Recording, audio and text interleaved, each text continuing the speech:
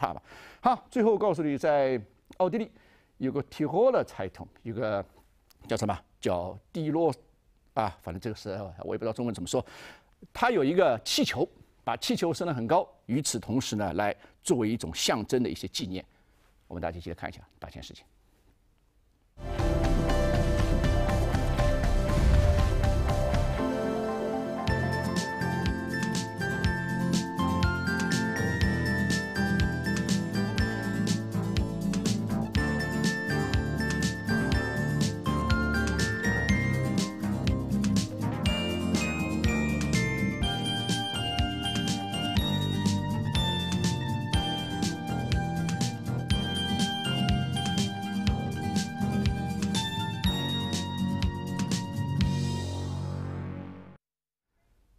好看完了气球，这个中国有句话说“高处不胜寒”，你把升得很高，小心一不小心掉下来啊！这个有可能掉下来了。